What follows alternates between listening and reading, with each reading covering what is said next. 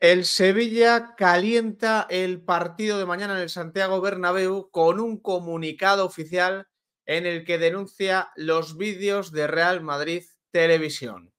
Hay que ser cobardes, amigos del Sevilla. Cobardes y rastreros. Claro, aleo.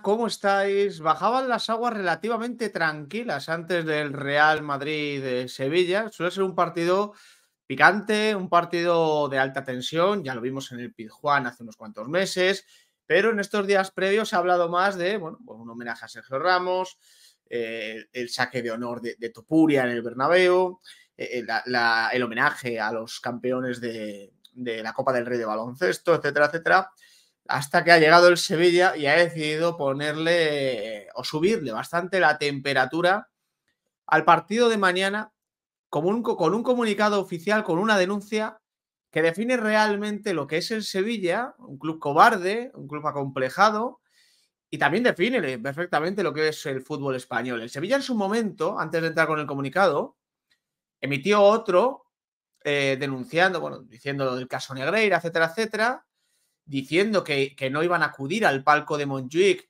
como gesto de protesta y tal, pero luego, como son cobardes, no fueron capaces de personarse como acusación particular en el proceso judicial que se está, en el que se está estudiando el mayor escándalo de la historia del deporte.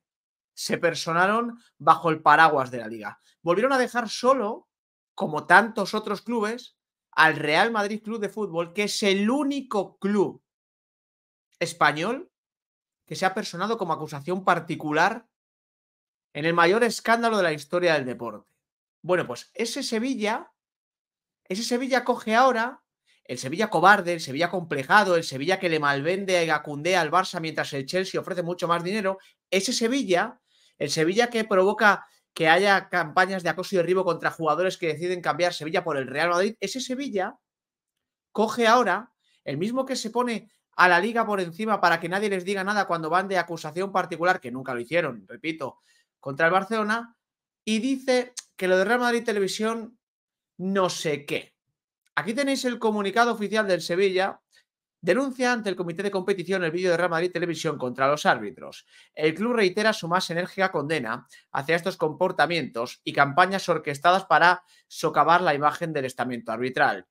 El Sevilla Fútbol Club ha procedido a denunciar este sábado, mediante un escrito ante el Comité de Competición de la Real Federación Española de Fútbol, la campaña de persecución y hostigamiento hacia el señor colegiado Díaz de Mera, designado como árbitro principal del partido de mañana entre Real Madrid y Sevilla, así como hacia el colegiado González Fuertes, árbitro designado para el VAR, a través de Real Madrid Televisión, televisión oficial del Real Madrid.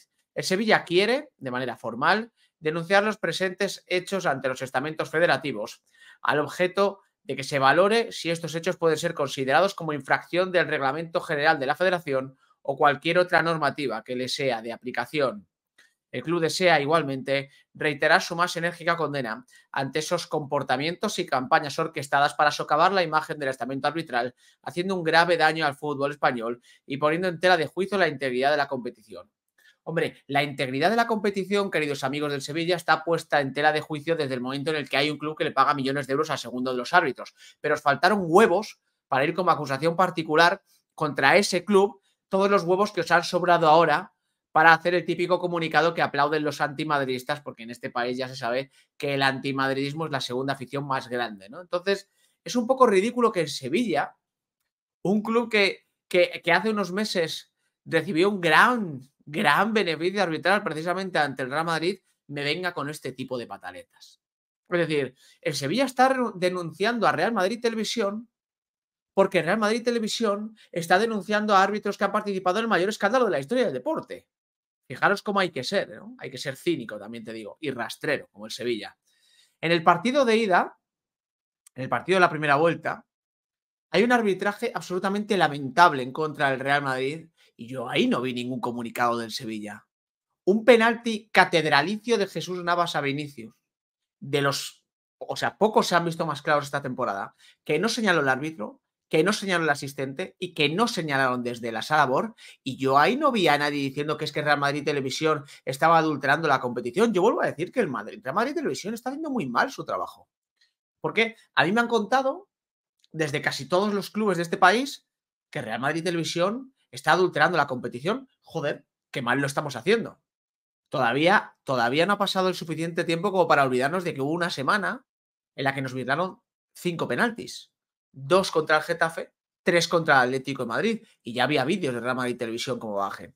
El Sevilla es un club que la temporada pasada eh, ganó en Zorrilla 0-3 después de que un árbitro anulase un gol al Real Valladolid por una acción bastante turbia, bastante, por no decir muy turbia, en la que el árbitro decidió pitar el final de la primera parte cuando un remate de escudero estaba yendo hacia portería. Repito, en una acción que dio la vuelta al mundo y que puso en tela de juicio el estamento arbitral y que puso sobre el foco, o bajo el foco, mejor dicho, a Medina Cantalejo, el presidente del CTA, que a su vez es sevillista. No he visto tampoco comunicado del Sevilla sobre este tipo de historias. Hace varias temporadas, la última liga que ganó el Real Madrid, en el Sánchez Pizjuán también, le anulan un gol a Vinicius por mano, en una acción que no es mano, que le golpea aquí el balón, que le mandan a la sala BOR, al, monitor a verlo tal, y no tenemos audios, por desgracia, de, esa, de, ese partido tal, y deciden que ese gol tiene que ser anulado. Y luego otras infracciones que no se pitaron como un penalti muy claro sobre Karim Benzema, que el árbitro dejó sin señalar. Yo ahí tampoco vi un comunicado oficial del Sevilla.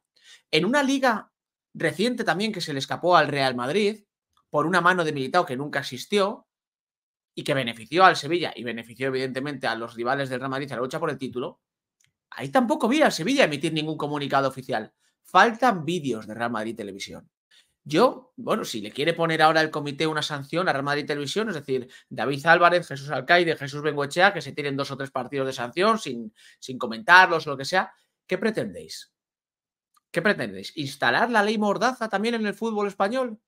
O sea, que el único club de este país que está teniendo los santísimos huevos y el valor de denunciar lo que todos pensáis, pero no os atrevéis a denunciar, ¿a ese club le queréis callar? El Sevilla, además, que es otro de los protegidísimos a nivel arbitral de este país, que os he citado tres o cuatro partidos escandalosos del Sevilla a nivel arbitral. Tres o cuatro que se me han venido a la memoria. Hay más, ¿eh? Hay unos cuantos más. Vamos, que la, la última Europa League, sin ir más lejos del Sevilla, la que le ganan creo que a la Roma en la final, ahí también un poquito de favor arbitral. Tampoco hubo comunicado del Sevilla. Los hijos de Medina Cantalejo ese día no escribieron comunicados. Pero hay que tenerlos, repito, muy gordos, ¿eh? muy, muy, muy gordos, para ir en contra del único club que está siendo capaz de decir lo que todos pensáis. Porque el antimadridismo os ciega tanto que hasta olvidáis lo que estáis pensando. Y lo que estáis pensando es que aquí habría que hacer una limpia en el fútbol español. Se os ha olvidado eso. Es decir, el Real Madrid está denunciando que hay árbitros que perjudican gravemente al Real Madrid y están todo su derecho a denunciarlo. Y el Real Madrid está denunciando a ciertos árbitros que les fue muy bien en la época de Negreira ciertos árbitros que ascendieron de manera bastante extraña en la época de Negreira y ciertos árbitros que permanecen ahí como puestos por el ayuntamiento y que ascendieron de la mano de Enrique Negreira. Eso, eso lo está denunciando el Real Madrid. Vosotros os ponéis de la mano de la liga y que ya la liga, que no está haciendo absolutamente nada, se encargue de, de aquí por meter un poquito de mano tal. Eso es una vergüenza. Lo que pasa es que, claro, queda mejor sacar el pecho, ¿eh? porque mira, yo he denunciado los vídeos de Real Madrid Televisión. Es que en su momento también denunciamos lo de Negreira. No, no, no, no. En su momento hiciste un comunicado oficial que me pareció bien. En su momento renunciaste a ir al palco de Montjuic, que me pareció bien, me pareció un gesto importante, pero no tuviste el valor de presentarte como acusación particular contra el Barcelona. No vaya a ser que pase algo, ¿verdad? Porque contra el Barcelona en este país ya sabemos que no se puede ir, porque el poder mediático es muy grande. Contra Real Madrid sí. Porque mientras te cuentan que Florentino tiene poder y que no sé qué, no sé cuál, la realidad va por otro lado. Así que nada, mañana, a ver si con suerte no, no nos tangáis otra vez a nivel arbitral, que en los últimos eh, partidos entre Sevilla y Real Madrid ha habido unos cuantos escándalos que han perjudicado al Real Madrid. Y ya repito, si con suerte no hay escándalo arbitral, oye, a ver si os pintamos un poquito la cara, os vais calentitos a Sevilla y a seguir pataleando.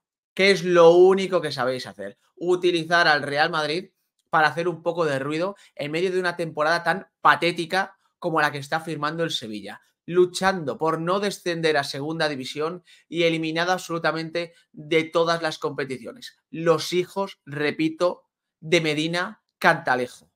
Los hijos de Medina Cantalejo, que tienen a sus espaldas escándalos arbitrales como para adornar la giralda entera, me vienen aquí a llorar por los comunicados o los vídeos de Real Madrid Televisión. Los mismos huevos que le echáis para los comunicados, haberlos echado para el caso Negreira. Cobardes. Gracias por acompañarme. Nos vemos en el siguiente.